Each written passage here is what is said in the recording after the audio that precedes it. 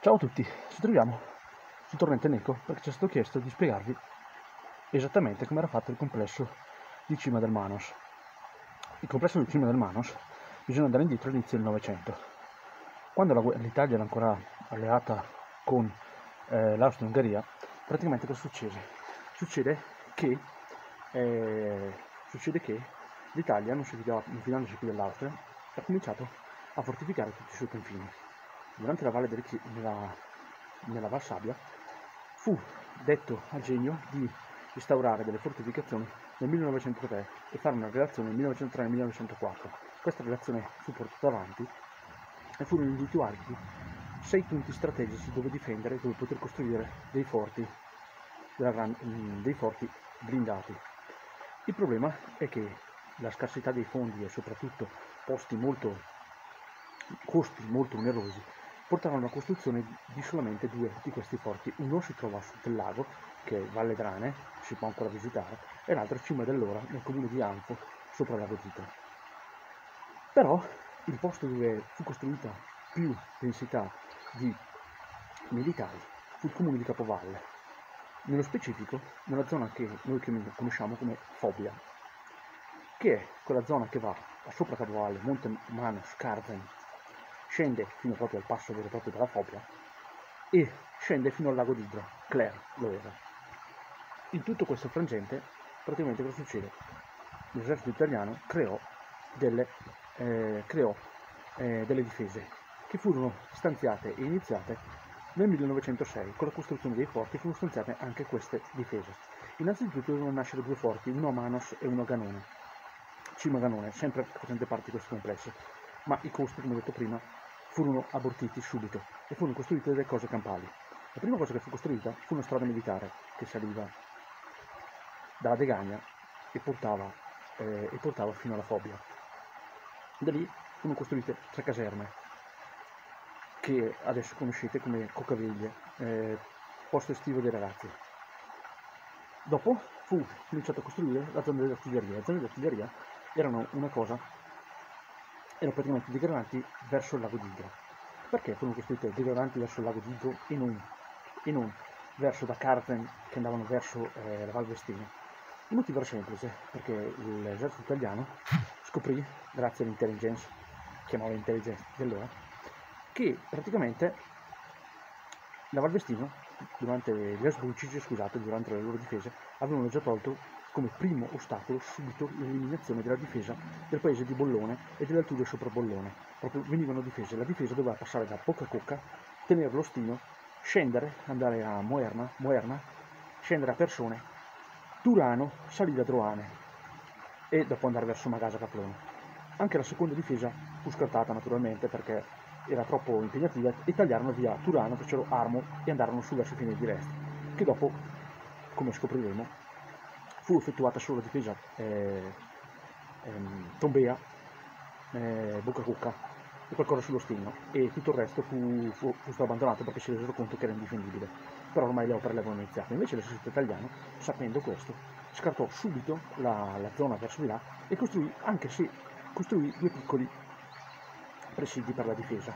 Uno era il Carzen con l'ultimo pezzo del Carzen con alcune trincee e l'altro era Finiglia al Bal a Capovalle che puntava sopra l'abitato di Bollone, che poi fu girato verso l'abitato di Magasa. L'esercito italiano allora cosa decise di fare? Come detto prima, sul, manopo- eh, sul caposaldo Fobia che prende, come detto prima, tutte le montagne che dicevano. Costruite le tre caserme, costruite le strade, che dopo fu ampliata anche la strada che da, da Passo della Fobia, Cavallino della Fobia, arrivava a Capovalle per unirsi al, praticamente a tutto il settore. Cominciò a costruire le artiglierie. All'inizio della guerra le artiglierie erano solo tre in cima al Monte Manos, proprio sulla vetta, una e due discendenti sopra il comune a metà Manos, che era la zona della polveriera, quota 1300, poi digradanti verso Clare, eh, Monte Pario, Luere di Idro, Femmine Rizzapini, Vantone. Questa era tutta la cortina che serviva per difendere eh, il confine. Infatti il Montestino che dopo fu, fu pesantemente fortificato, ma all'inizio aveva solo delle trincee, perché il Montestino, se ci fate caso, era come la Valvestino, era una piccola protuberanza dentro nel, nell'Austria, perché il Monte Calva era la, la vetta era austriaca, il metà stino sud era eh, austriaco, nonché tutto il Tombea che lo sovrastava e l'Alpo erano austriaci. Allora sul Monte Stino si fecero solo delle trincee di confine e dopo fu fortificato più avanti. Come detto prima, la zona del Manos, oltre ad avere queste difese qua, aveva anche delle difese strategiche che, che passavano da dosso tre termini, dosso tre termini, dove avevano delle difese che furono girate verso la Val Vestino. Anche queste furono iniziate all'inizio della guerra, poi non furono abbandonate e cominciarono a fare dei collegamenti verso la zona di Campei, verso il lago di Garda e furono fatte delle, delle, delle mulattiere che salivano da, dalla Fobbiola aggiravano lo Zingara e arrivavano lì, anche queste sempre per la difesa. Rimasero tutte invariate fino alla, all'avvento di Diaz. Quando arrivò Diaz, praticamente cosa succede? Nell'arrivare il, il, con la perdita di Caporetto praticamente da parte degli italiani e il rifacimento al rimpasto della, della difesa, anche qui venne rimpastato e vennero rifatte completamente le difese, perché una volta con la paura dello sfondamento austriaco, se, se le difese all'inizio della guerra erano eh, per offendere, adesso dovevano essere fatte per difendere. E infatti il Monte, il Monte Manos fu messo dentro in un caposaldo praticamente per la difesa a oltranza, anche perché passato il Monte Manos sarebbe arrivati a, Gargano, sarebbe arrivati a Gavardo e a, scusatemi, a Vauban e poi nella pianura, nella pianura, nella pianura bresciana. Allora cosa si decide di fare? Monte Manos prendeva praticamente il centro dell'artiglieria come doveva essere quando c'era l'attacco, ma questa volta in difesa. Infatti sul Monte Manos furono portate delle difese antiaeree, delle difese in, eh, in vasca e delle difese di artiglieria. Furono fatte tutti i tipi di difesa per un semplice fatto e furono aumentati le piazzole, i pezzi, dalle, dalle 6 iniziali, come ho detto, verso l'offesa, diventarono 18. Diventarono 18 cose e nonché arrivarono anche le difese che si, si prolungarono da Carzen fino a Monte Pallotto, e si andavano a unire con le difese di Castello di Caino, Monte Pizzoccolo, Spino, per fare praticamente una linea. Si interruppero i lavori perché doveva essere tutta una trincea unica, eh, doveva essere tutto un, uh, un cosa unico, ma in molte, in molte zone non furono, non furono, edificate, non furono costruite, furono fatte solo i capisaldi perché era la terza linea e perché eh, erano state messe come ultimo baluardo e perciò erano in costruzione in prevenzione nel 1919 queste difese. La, la peculiarità del Monte Manos è che era la zona, come ho detto prima, di artiglieria, ma aveva anche all'inizio della guerra, come ho detto prima, mi sono dimenticato, c'erano le teleferiche che erano solo due, mentre a fine della guerra siamo riusciti a puntare nove teleferiche, che da Monte Manos, Carten e Pallotto, Gannone, Gannone eh, Cimario Secco e tutte le altre zone. Da qui come venivano fatti i trasporti? I trasporti venivano fatti in due modi. Per la zona Stino Capovalle venivano issati su dei barconi eh, che arrivavano alla stazione del treno di Idro, barconi, venivano su da, dalla mulattiera, nonché dalla strada che stava nascendo e arrivavano a Capovalle, mentre qui tutti i rifornimenti arrivavano direttamente dalla Vegaia, scendevano in stazione a Vobarno e venivano portati con autocarri con autocarri fino alle caserme e dalle caserme venivano issati sulle, sulle teleferiche, sulle varie teleferiche portate alle varie postazioni. Noi abbiamo avuto, abbiamo avuto la fortuna di avere tre diari che parlano di questa zona, poche pagine, solo costruzione di opere, però che ci hanno spiegato bene cosa, com'erano, eh, com'era la zona delle teleferiche. La zona delle teleferiche praticamente eh, c'era la zona di smistamento che era la caserma bassa o anche magazzino, che era la Picoviglie 3 adesso, quella che resta praticamente ancora sulla strada che viene su da Eno, resta sulla strada. Da lì venivano portate, eh, venivano portate a Cucaviglie 1, che era la caserma quella più grande, quella che c'è ancora adesso dove fanno la cosa, e quelle per gli animali venivano spostate a Cucaviglie 2, che sarebbe quella in parte, dove c'è la chiesetta, dove c'è il campo da, ten, da, da, da bocce e tutto, e lì venivano messe stipate nel magazzino e dopo venivano portate su.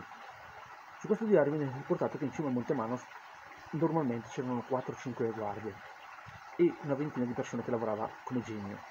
Eh, nonché nel 1918 fu portata su una difesa antiaerea che funzionava tutto il giorno. E c'era su un mitragliatore che è postato ancora con la sua base tonda nell'anticima del Monte Manos si vede bene che era praticamente eh, postata lì. Da specificare che in queste zone c'era anche la Cimario Secco, che aveva le sue due vasche, che puntava verso il coso, c'era Cimagannone, che anche questo aveva sulle sue, la sua vasca, che puntava verso il coso, e poi l'edificio quello più vasto, la Foppia, che erano eh, Dosso del Cavallo, dove c'era la piazzola per portare un, un mortaio addirittura di medio calibro, c'era Montepario che è stato spianato, e c'era tutta la zona che scendeva da Clare, che anche lì c'erano le postazioni dove c'è un capanno, dove sono i Boy Scout adesso, di sopra c'era un capanno, e, e viene puntata sull'artiglieria, e dopo c'era giù l'UR di Idro, che erano imboscate dietro il Camesino per poter fare una cortina che arrivava giù fino al lago con dei mortai, piazzati di mortai, nonché fini di rizzardi, che, rizzardini che poi declinava verso, verso Vantone, dove sopra la galleria di Vantone, sopra la galleria di Vantone, appena costruita durante la Grande Guerra, c'era un piazzolo che sparava in fondo al lago volendo, o poteva usare anche il mortaio per sparare dietro la taglia. Tutto questo, con la fine della Grande Guerra, arrivarono i tedeschi, lì a Todd, per tenere impegnati i nostri, i nostri reduci, nonché la gente che era qua per non farli morire di fame, per tenersi in comune, fu costruita anche la linea blu. La linea blu della seconda guerra mondiale fu utilizzata anche, fu anche, fu praticamente utilizzata queste montagne per la, la linea blu. Il Monte Ganone specialmente fu costruito un fortino e fu costruito le difese alte che bucavano verso la riva di Brescia, il Monte Banos, dove le sue piazzole, quelle d'artiglieria basse, quelle del 149, le quattro piazzole che trovate nella zona polveriera dell'Antecino, praticamente lì furono utilizzate dai tedeschi, girate dall'altra parte per sparare, e dopo c'era, c'era anche la zona dei tre termini, sempre anche lì girate per sparare. Però cosa volevo dire? Questi posti qui li porteremo a spiegare, è una spiegazione molto molto molto molto molto molto molto veloce, però troverete tutto sulle difese della della Grande Guerra di tutti i piccoli capisaldi, con tutte le postazioni, con tutte le, con tutte le alture dove erano messi. Ne abbiamo contati tipo 50 eh, campali e, e ve li andrete a trovare voi. Eh, speriamo di essere stati utili per spiegare un po' il momento, così dopo ci vorrebbe un video almeno di un'ora, un'ora e mezza per spiegare tutto. Queste sono le cose più semplici e più veloci che ci avete richiesto, eh, spero che vada bene. E dopo racconteremo anche dei soldati che sono qui, dei loro manoscritti, delle loro, delle loro varie, varie diarie che mi ha trovato qua, di cui un racconto di una piccola slavina, non successo niente, un piccolo incidente nella polveriera, o fienile veronese adesso come, come viene detto, e racconteremo anche dove stavano le tende, perché le tende non stavano, non stavano sulla strada.